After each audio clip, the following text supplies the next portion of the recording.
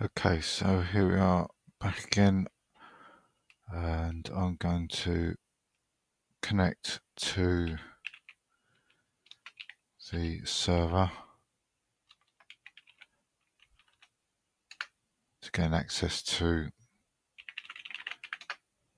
the machine that we're building on via Telnet.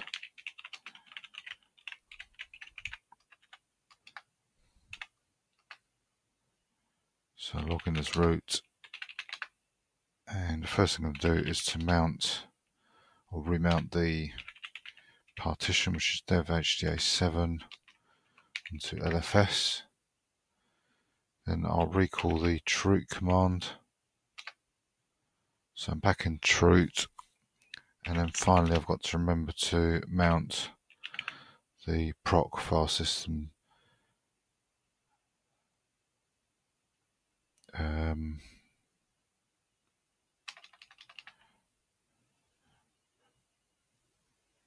right, I should probably check to see what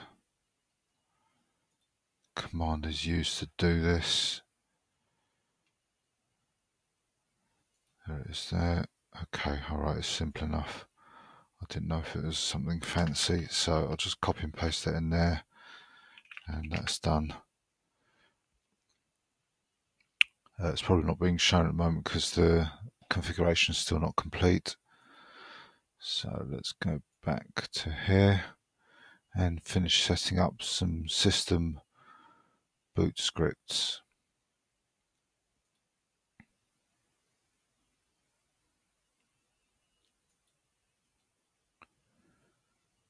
So it mentions uh, how all this works and the first script we've got is the set clock script. So basically the UTC one means that the time is stored on the hardware in GMT time or UTC. If you're sharing it with Windows or DOS, then you'd want to set that to zero to say that it's stored in local time, but generally it's better to have it stored as UTC or GMT as it's otherwise known. Do I need load key script? If you decide to compile your keymap directly into the kernel back, you strictly need to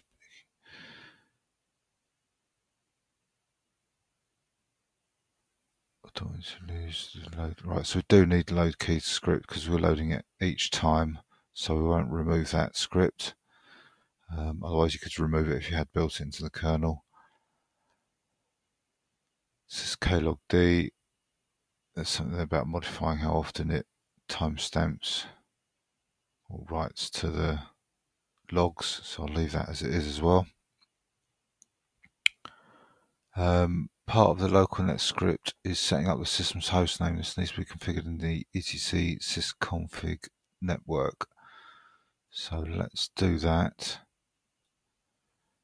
I'm going to call this machine LFS-4.0.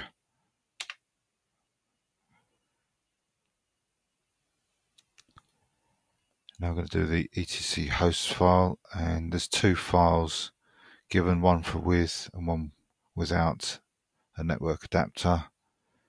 So because I'll be using a network adapter, I'm going to copy this second one and I'm going to edit that now as well to fill in the gaps.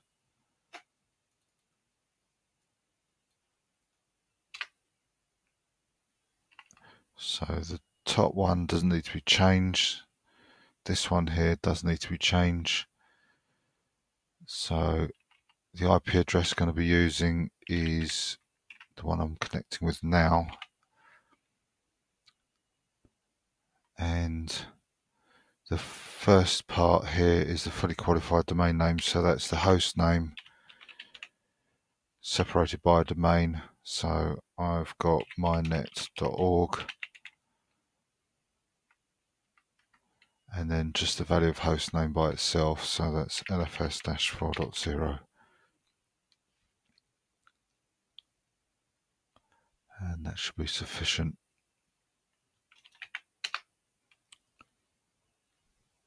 Configuring network script. So we've got to if you want to network, you may need to set up a default gateway. This is done by adding proper values to etc config by running the following. So I'll have to edit that because that gateway is incorrect for me. And then it's got some information about creating uh, configuration for the actual network card itself. Again, that needs modifying, so I'll just copy that in. And now I'm going to edit this file to adjust those values. Um, okay, so it's overwritten. In fact, it's overwritten two things there by the looks of it. Uh, yeah, this should come second. This is to append and this is to overwrite. So what's happened is I've created that file. Uh, sorry, no, beg pardon. Uh, that's to etc network. Let's just check that because we did write something to it before. And we've got to modify it anyway. Yeah, the LFS name. So I've just got to alter the gateway to be 01 for me and obviously change your own if you're doing this. So 01 is my gateway and then I want to edit the actual ifconfig file change the IP address to 0.37 so that's the IP address of this machine and the broadcast will be on the 192.168.0 subnet. So I'll save that and that should be all that's needed. Um,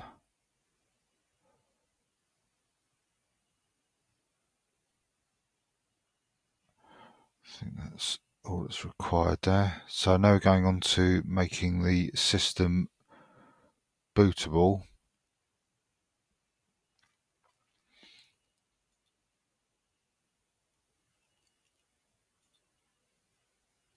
So first thing we've got to do is create an fstab file. So I'll copy that in and edit that.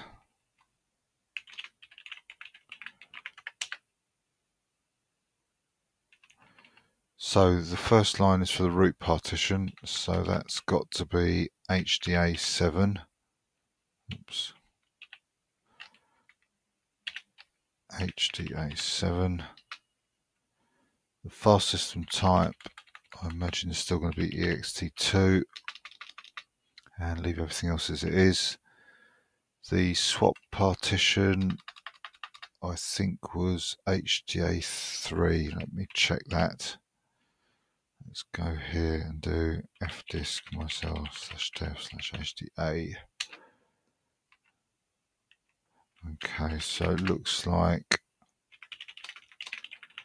I'm not going to be able to view that. Okay. Uh,